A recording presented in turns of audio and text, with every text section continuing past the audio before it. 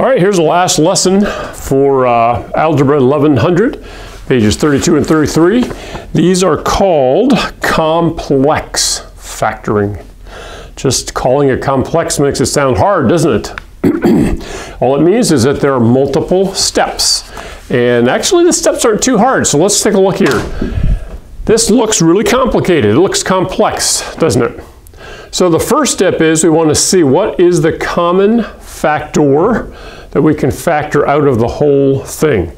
And I can see that all of these I could take out a 3, okay? And I can see that I can also take out m. Now, some students try to just do this in their head and jump to the two parentheses, and you can't do that.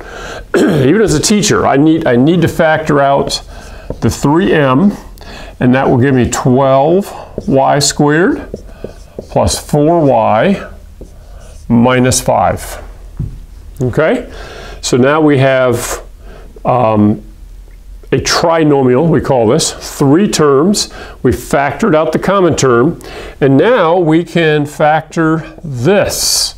And so we have to think of different numbers. Remember the previous video where we tried to think about is it 2 times 6, or 3 times 4, or maybe it's 12 times 1, okay? And then for the last term, it's either 1 times 5 or 5 times 1. That's really the only two combinations that will give you 5. And then you use the FOIL method and see which one will give us the positive 4y in the middle. All right?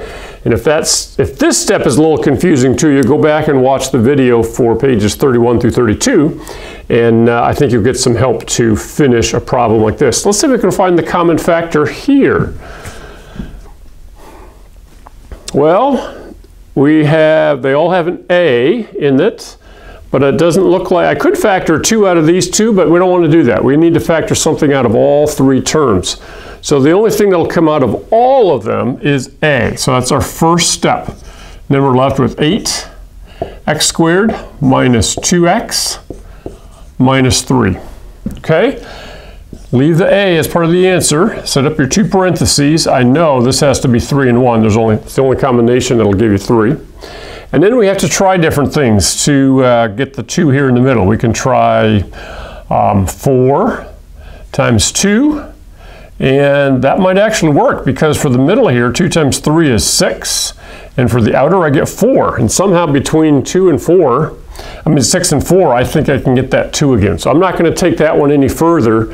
I think you can play around with trying the pluses and minuses and uh, figure out which one will actually work. So the first step is factor out the common th term, and then in your final answer, you do leave that as part of the answer, and then you'll have these two parentheses, the two binomials, and uh, check your work by doing the FOIL method to get this step back, and then you could distribute the A times all three of them, and you should get the original problem back. Again, they, uh, this is a little more complex, but they only have um, you know eight, eight to 10 problems like this for your homework, so uh, it shouldn't be too hard.